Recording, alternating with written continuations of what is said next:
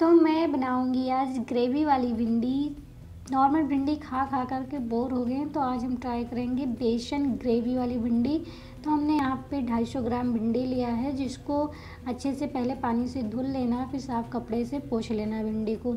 उसके बाद में हम भिंडी के जो मुंडी है, उसको पीछे का हिस्सा काट देंगे थोड़ा थोड़ा और फिर हम भिंडी के दो टुकड़े, अगर भिंडी बड़े हैं तो तीन टुकड़े कर लेंगे। इस तरीके से भिंडी हम काट लेंगे सारी भिंडी को। उसके बाद में हम कढ़ाई को गर्म करेंगे, उसमें तीन बड़े चम्मच तेल डालेंगे। इसमें हम भिंडी को फ्राई कर लेंगे तीन चार मिनट तक। भिंडी को हम बीच बीच में चलाते रहेंगे ताकि भिंडी चारों तरफ़ से अच्छे से फ्राई हो जाए।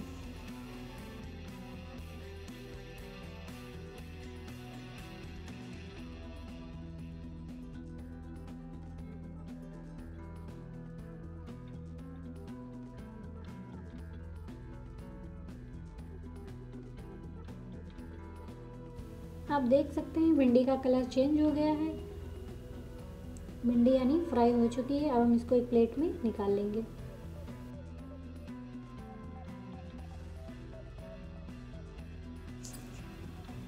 भिंडी को एक प्लेट में हम निकाल लिए हैं, और मैंने यहाँ पे एक मीडियम साइज़ का प्याज लिया है, दो हरी मिर्च। मसाले में हमने लिया एक चम्मच बेसन, एक चम्मच हल्दी पाउडर, एक चम्मच धनिया पाउडर, एक चम्मच मिर्च पाउडर और थोड़े से गरम मसाले और थोड़े से कश्मीरी लाल मिर्च पाउडर लिया है। पानी डाल करके हम इन सबको मसालों को अच्छे से मिक्स कर लेंगे।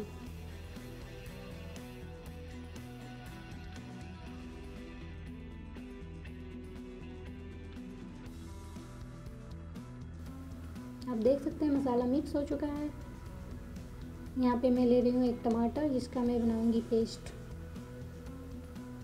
ये सब्ज़ी मैं सिर्फ़ और सिर्फ़ दो लोगों के लिए बना रही हूँ तो उसी हिसाब से मैंने इंग्रेडिएंट्स भी लिए हैं। आप अगर ज़्यादा बना रहे हैं तो थोड़ा ज़्यादा लीजिए। जो कढ़ाई में तेल बचा हुआ था, उसी में मैंने डाला है जीरा। जीरा तड़कने लगे, हरी मिर्च डाल देंगे। उसमें हमने जो कटा हुआ प्याज था, उसको डाल देंगे मिक्स कर लेंगे।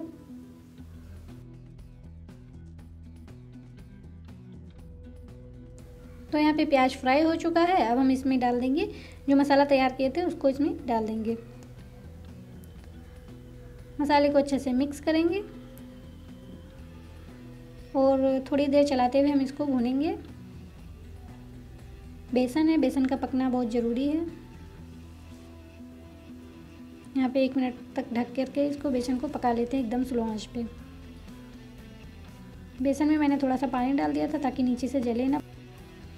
तो यहाँ पे बेसन अच्छे से भुन चुका है। यहाँ पे मैं डाल देती हूँ। अब जो टमाटर का प्योरी बनाया हुआ था, उसको डाल देंगे यहाँ पे और उसको भी अच्छे से मिक्स कर लेंगे और एक मिनट तक ढक करके टमाटर की प्योरी को भी पकाना ज़रूरी है।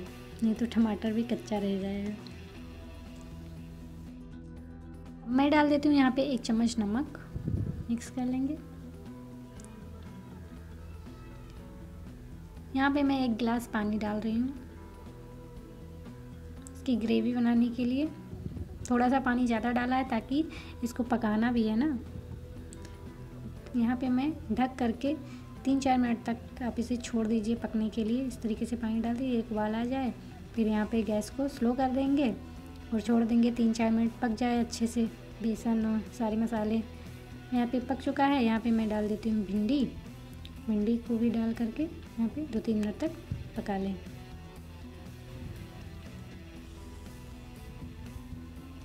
आप देख सकते हैं। पक रही है हमारी भिंडी। हो गया समय। रेडी है खाने के लिए भिंडी। आप देख सकते हैं कितना अच्छा टेक्सचर और कलर दोनों आया है सब्ज़ी का। अब मैं इसमें डाल देती हूँ थोड़ा सा हरा धनिया और इसको अब एक प्लेट में निकाल लेते हैं। थोड़ा सा हरा धनिया गार्निशिंग के लिए।